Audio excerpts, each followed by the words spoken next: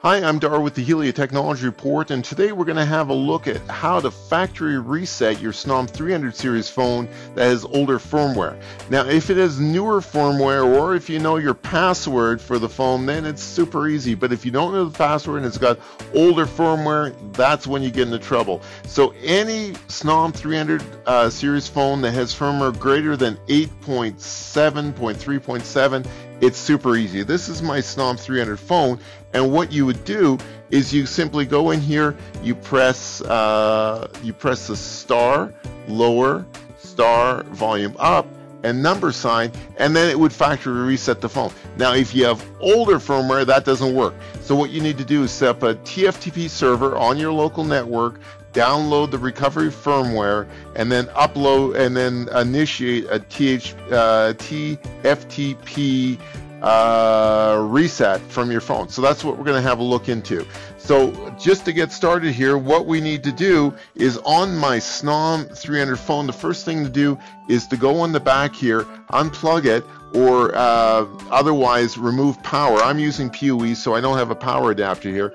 And then I'm going to plug it back into the net port to uh, start booting it up. Now, one of the first things that happens here is it's going to say, okay, it's just booting up there. And it says for TFTP update, press a button. Okay, so now it asks for an IP address. So I'm uh, my network here is 10.100.1.x. So I'm going to put in here an IP address. This is a static IP address of 10. And let's go back a little bit further here so you can see this. Um, okay, right about there. So we're going to go 10 dot. Uh, uh, oof, now I've gone back. Okay, we got to restart that. so I'm going to unplug this, plug it back in. Now this is tricky because I don't, I the back uh, key hadn't been working for me. So we're going to go back here again real quick. And uh, there it is for TFTP update, press any key.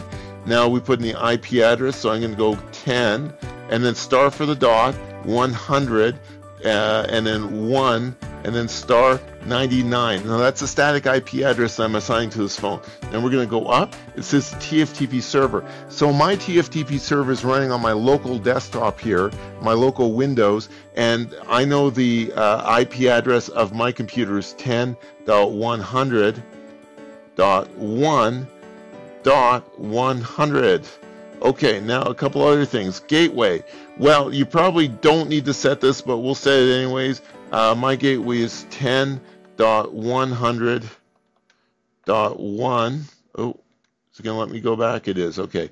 1.1. And then the last one here is the subnet mask. And so it, I need to change this to 255.255.255.0. Now, now that I've got that information here, I'm going to press the OK button. And it says loading image. Now, it's actually uh, not loading the image and we're going to switch over to have a look at the program to see why. Okay, so here we have, uh, I'm using OpenTFTP server only because I googled TFTP and this is what's coming up. Uh, SNOM recommends uh, Pumpkin, a, a, Pumpkin TFT, and that's fine too.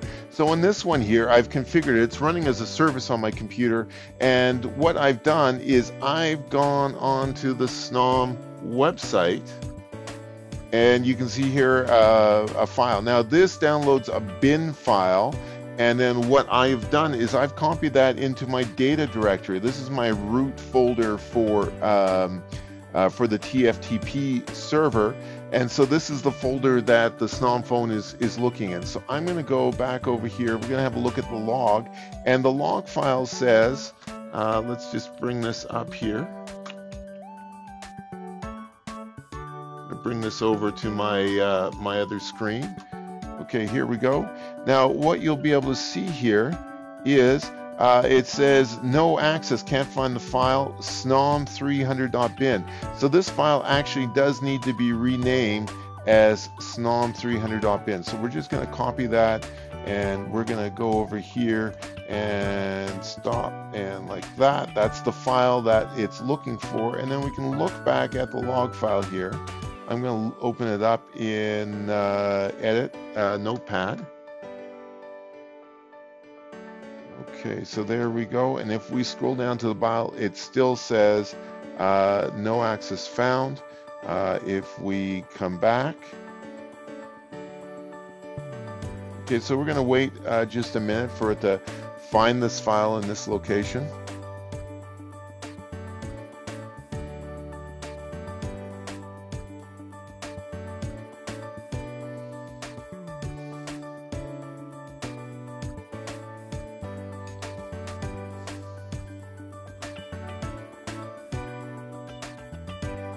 So I'm going to pause the video because it should pick this up by now, but it might have been that I took too long on the Snom phone and it's, uh, it's uh, timed out. So I'll be right back.